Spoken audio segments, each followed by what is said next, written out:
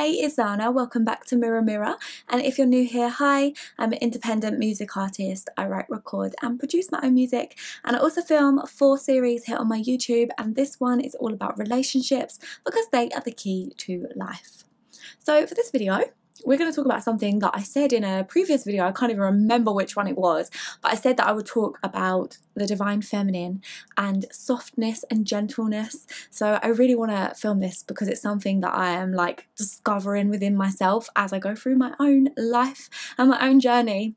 I feel like it's going to be more addressed to women, but I also think men could actually benefit from watching this video as well. And that is the fact that when you submit to your partner, it is not weak. And when you are soft and feminine and gentle, it is not weak. And this is something that I used to think it was because I've always been quite like girly, as you can kind of see with the makeup and the nails and everything. And I used to perceive that as like a not a weakness, but just like people will try and walk all over you. You know, like they'll mistake kindness for weakness. They'll mistake you being soft and gentle as you being a doormat and allowing anyone to just take advantage. And that is not the case.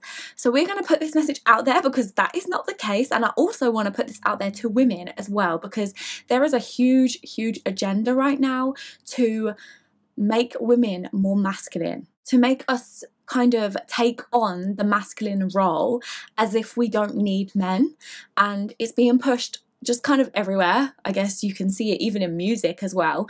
And I want to just speak to people that really need to hear this essentially because we don't need to take on that masculine role. Like that is why men and women were created because we have our own gender roles, we have our own um, things that we play, like roles that we play in the household and everything.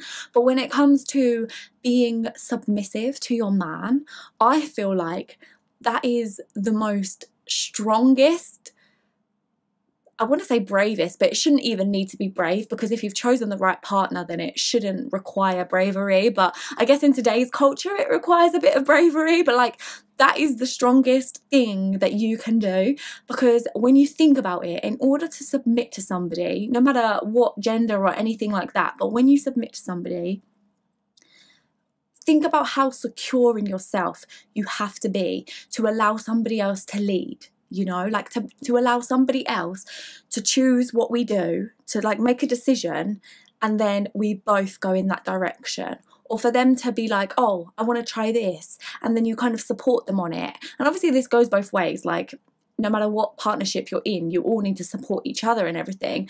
But like in order to submit to that level that's that needs such strength because you need to be able to be so secure in yourself and so trusting of not only the other person but of yourself enough to where you've chosen this partner. Like you need to have such a belief in yourself to know that you have chosen the right person for you and to know that when you chose them that was the best decision for you if that makes sense. Like literally even making that choice of joining into a partnership with them is such a self trusting decision you know?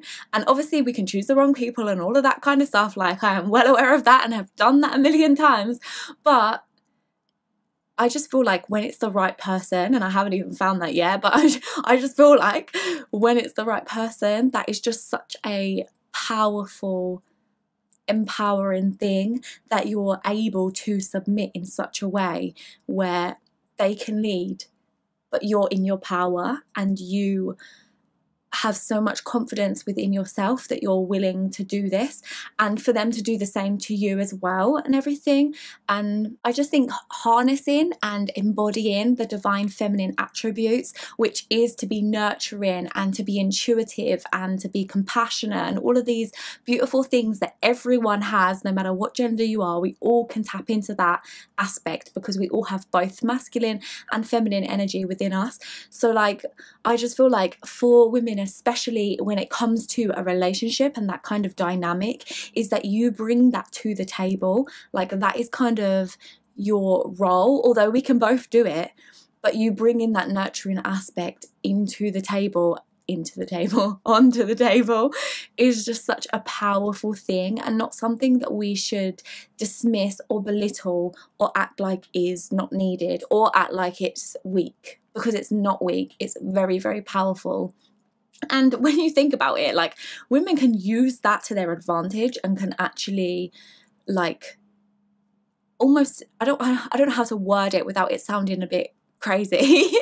like I don't want to say take control, but can you can kind of lead with that energy, you know? If that makes sense. Like we don't have to lead with full force and like um take on all of these masculine principles and lead without the feminine. Like you need both, you know. Like I feel like a lot of women are trying to just become masculine and just embody the logic and the reason and all of those kind of forceful masculine principles, and then they're kind of letting go of all of the feminine, you know. And that has nothing to do with gender. That's just kind of the um, systematic norm that has been created now where we're becoming very independent and very um like I guess independent is the word, where we're having to just get in our bag and like go out and go get it kind of thing, which is an incredible thing. But when you let go of the compassion and the like the intuition, which you really need when you're going out and, you know, when you're going out into the world, especially entrepreneurship, you need to have a good connection with your intuition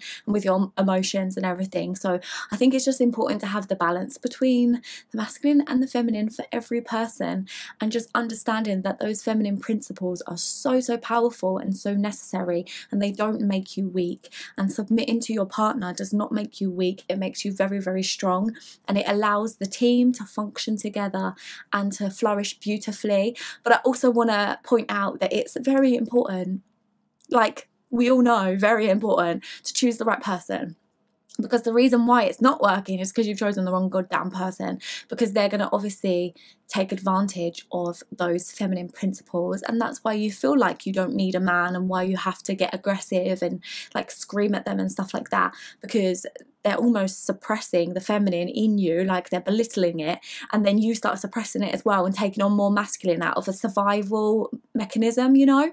And I think we just need to kind of get back into our feminine bag, into our feminine principle of intuition and compassion and everything like that, and stop settling for bullshit. Stop choosing the wrong people. And even if you've chosen the wrong person, start actually realizing your worth and asserting your worth so that they either step up to the plate or they leave your life.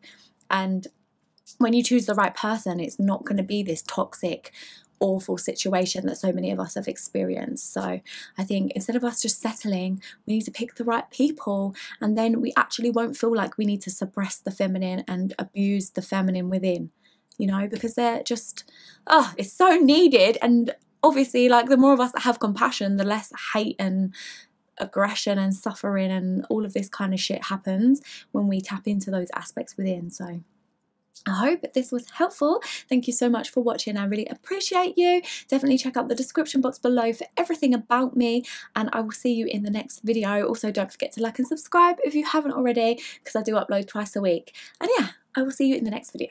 Bye. Oh, yeah, I think me. Yeah, I'm icy, cooling in that white tea. Oh, yeah, I think me. Yeah, I'm icy, cooling in that white tea. Oh, yeah, I think you might. I'm the thing you like, in my range all white. Oh, yeah, I think you might. I'm the thing you like, in my range all white.